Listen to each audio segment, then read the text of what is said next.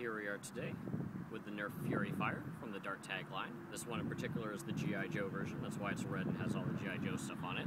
But it's exactly the same as the orange and green uh, Dart Tag edition. It's got a drum that holds 10 darts. You fire it by pumping this and then pulling the trigger. And we're gonna see what kind of ranges it gets. Here we go.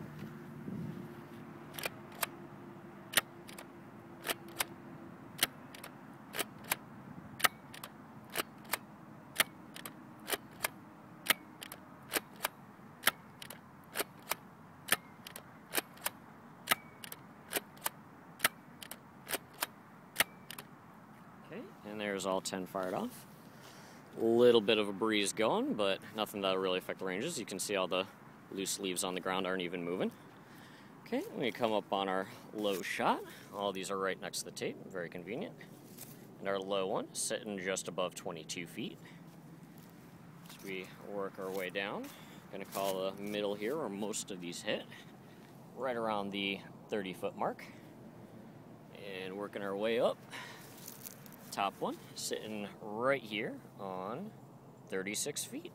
So stock Fury Fire, 36 feet, good stuff. Thanks for watching.